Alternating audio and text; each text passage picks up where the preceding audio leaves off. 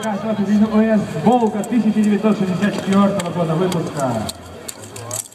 Ну что сказать, образ автомобиля «Волга» М21 появился в 1954 году и принадлежал советского дизайнера Льва Еремеева. В дизайне машины летали американские нотки, но тем не менее он полностью оригинален.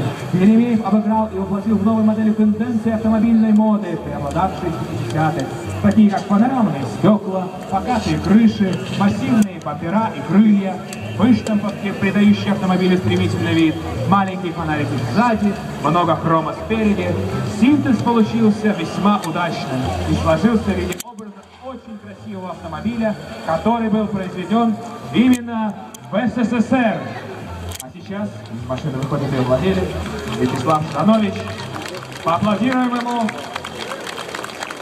И сейчас он будет награжден почетным дипломом участника фестиваля «Золотая тень Кенигсберга 2019».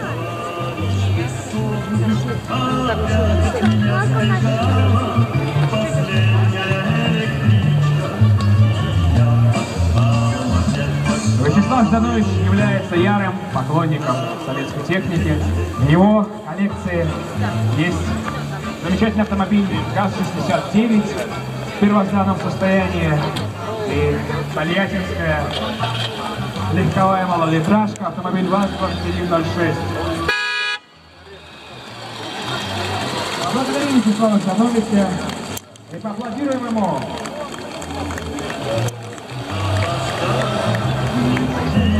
now,